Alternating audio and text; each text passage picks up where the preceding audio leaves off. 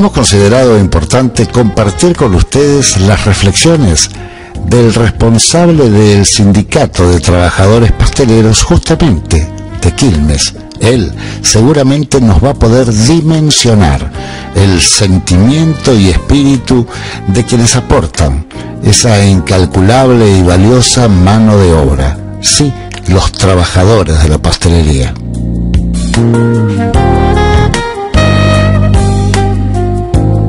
Acá se encuentra una parte de pastelería muy artesanal, los cuales este, el producto la gente lo, requiere y los pide permanentemente.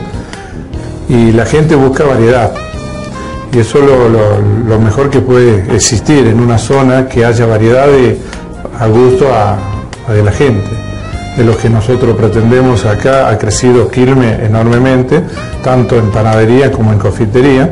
Estamos hoy por hoy, eh, creemos, más de 100 confiterías juntamente con panadería y confitería. Ahí hablamos de panadería y confitería, la claro, porque hay panadería y confitería que trabajan en conjunto y hay confitería solamente elaboración de confitería.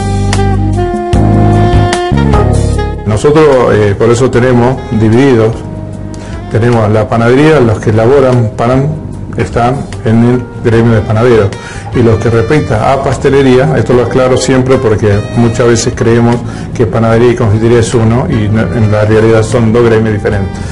Eh, la confitería, los que, todo lo que respecta a elaboración de pastelería, tanto de medialuna, de manteca, como la pastelería, eh, es parte del gremio pastelero.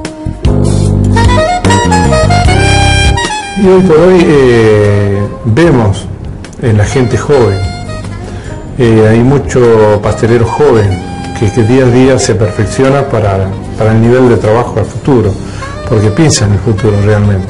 Eh, nosotros día a día visitamos establecimientos y vemos gente muy joven en pastelería. Y esa gente joven nosotros le inculcamos también a que se acerque a la escuela para perfeccionarse y día a día mejorar el nivel de vida de ellos. Yo creo que el, pastelero hoy está viendo, antiguamente no era así. Nosotros hemos palpado con pasteleros, hemos trabajado casi juntos con los pasteleros. Y eh, veíamos esos pasteleros reacios a enseñar al otro. Era el negativo que no, te decía absolutamente nada. Hoy por hoy el, el mismo trabajador enseña al otro. El pastelero eh, que son jóvenes trata de perfeccionarse día a día porque sabe que el futuro es como todo. Hoy la tecnología, si no, no está en el tema, está fuera del sistema. Y ello tiene, tiende a desaparecer el que no se perfecciona.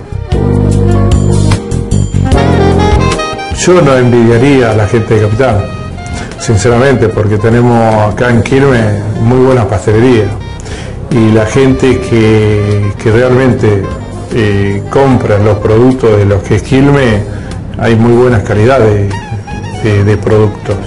Por eso que eh, Quilme ha crecido enormemente, justamente por esa razón, porque el, sistema de pastelería artesanal está muy bien constituido. Y entonces la gente lo que busca es calidad.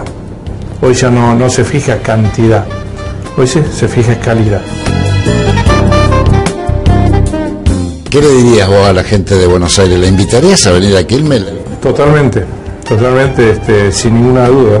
Que venga al partido de Quilmes, que Quilmes lo, espera y que deguste toda la, parte de pastelería que quieran, la parte artesanal de la pastelería, que, que le va a caer muy bien.